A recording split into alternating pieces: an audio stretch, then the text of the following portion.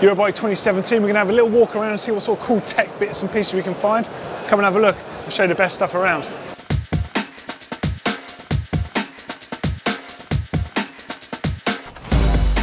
So for 2018, CamelBak have got two new packs. They've got the Toro and they've got the Kudu. So the Kudu has existed previously, but it's smartened up and it's got two sizes now.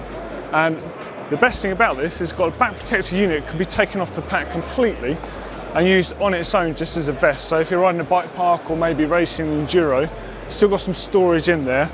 And the actual back protector unit itself has been much improved from the previous model. It's much more conformative. It's a four layer system now rather than the dense foam it had previously. And there's also two options of these. So this is the bigger one you see in the Kudu, and there's a thinner one that comes in the Toro. And let's just show you how effective they are.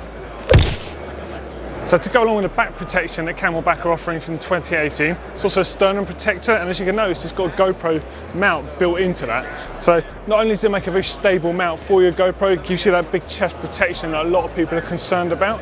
This is compatible with all CamelBak packs, but also it's a standalone unit. You can wear this just on its own for filming. That's definitely going to be on our list of things to get. One of the coolest things about Eurobike is seeing all the weird, quirky stuff and how modern technology like dropper posts can trickle down to give you benefits for other riders and different applications. So KS, for example, they've been doing dropper posts for years, one of the first major manufacturers of them. They're now offering this post, which has got 250mm drop. Laugh it up, but this has actually got really good ideas. So think about a hire bike, for example. If you're hiring a bike, you no longer have to mess around with Allen keys and that. You've got that huge range of adjustment. Or perhaps if you've got a commuter bike at home, you share it with some other people. That's where they're going with this sort of stuff. It's great to see this sort of stuff going down to mega cheap bikes. In future, I think all bikes will be coming with dropper posts. So KS have got one of the biggest ranges of dropper seat posts on the market, and for 2018, they've got a lot of refinements, including a new remote. But the really cool news that I've just discovered is they're now doing 175mm drop post, so really good for the taller riders, especially out there. And we just spotted on their stand this really cool Bold Linkin bike, and it's one of the bikes that's got a hidden shock that's housed inside the seat tube here. And it's actuated by that rocker linkage. Really smart bit of design to keep the shock out of harm's way. So one of the things we've been seeing at the show is a lot of ways of improving ride qualities in that.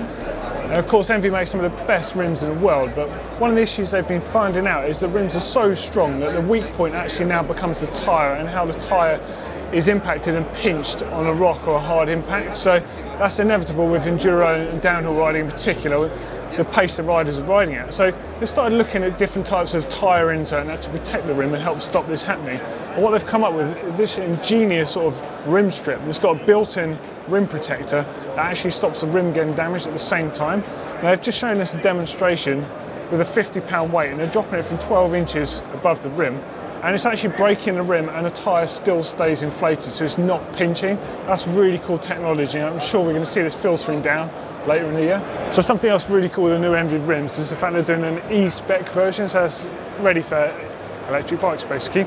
And the difference is it's got 35mm rim on there so that's the case for the 2.8 tyre to give it the best sort of rim feel. And actually quite novelly they're using 6 bolt disc rotors on here rather than centre lock or any other option because it's the best option for all that braking torque that goes in from the additional weight of the bike. You're also using round double spokes, so not using bladed spokes that you might see on some other lighter options. Just another cool way of incorporating like some good features with technology that already exists to make it applicable for e-bike technology. Checking out the Rocky Mountain Altitude Powerplay, it's an e-bike obviously, but it's a little bit different to the others because it's not using a Bosch or a Shimano or a Yamaha system. It's actually using their own proprietary system, which is an incredibly brave thing to do. But what they've managed to do is create a bike that handles exactly the way they want it to do. So the motor system itself is housed above the bottom bracket unit.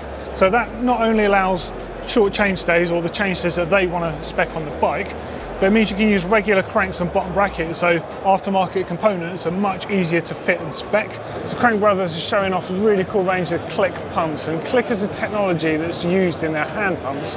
They've got a magnetic sort of piece that goes into it. So if I start at the top here just to demonstrate this, You've effectively got a pressure gauge straight out that works on its own independently of the pump. And then to use the pump, you're simply using a magnetic connection, use that as your track pump. Simple. Also notice it's got a canister on the front here so you can charge this up as you would with any other type of compressor type pump. And then when you're ready and that's charged, inflate your tyre using it. The compressor itself can actually be removed and you can charge this, you take this in your car with you and that will store two charges to fill two tyres for full inflation. Really cool modular system. There's also an analog version of the same unit, so without the compressor. Again, it's the same principle, use this as a pressure gauge on its own. Click that into the pump, job done. So checking out the 661 Reset helmet. This is a brand new, totally unique helmet. It's our own mold design. The best thing about this helmet, it's 100 euros. This is a totally bespoke design. It comes in four colors. There's seven sizes ranging from double XS all the way to double XL. And that's three shell sizes for them. And it's an ABS shell. Complies to all the standards you need. It's got some really cool colorways like this sort of tropical jungle type feel. Really high end finish. You just wouldn't know that that's an entry level price point helmet. Maximum protection, maximum value such a good product. So this is the brand new POC Tectal race helmet with the spin technology inside. Now spin is POC's take on prevention of rotational injuries. And they do this by using these unique pads inside, which are designed to kind of offer kind of a shearing movement. So to counter the rotational movement your head might have inside the helmet. It's a really nice, neat alternative way of doing it and it doesn't add any additional weight to the helmet because it's built into the padding system. Super neat, really tidy, built into the helmet. Good work. Okay, so that was uh, day two, end of with the uh, tech around Eurobike. Uh, don't forget to subscribe by clicking on the globe. There's a brand new video every single day, so make sure you do that. If you want to find out a bit more what happened on day one for Eurobike Tech, click down here. And if you want to find out all about the Shimano Steps E8000 system, click up here. And of course, if you like the video, don't forget, give us a thumbs up.